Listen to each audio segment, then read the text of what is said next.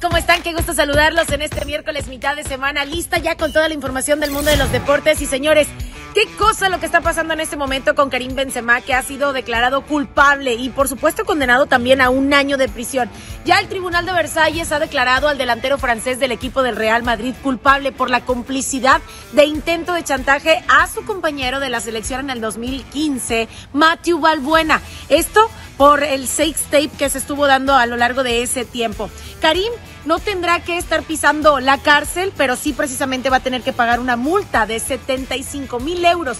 Este caso, este asunto, había llevado al jugador a tener más de un lustro de no ser llamado por su selección. Y ojo, según el tribunal, Karim no se había dado cuenta del carácter criminal de sus actos y por esa misma situación no estaría pisando la cárcel, como ya se los había platicado.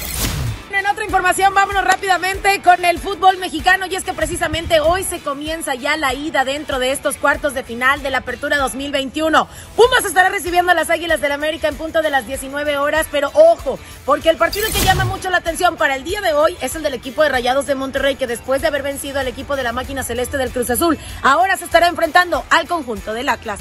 Esta y mucha más información, no se la pierda. ¿Dónde más? Solo aquí en Zona MLC.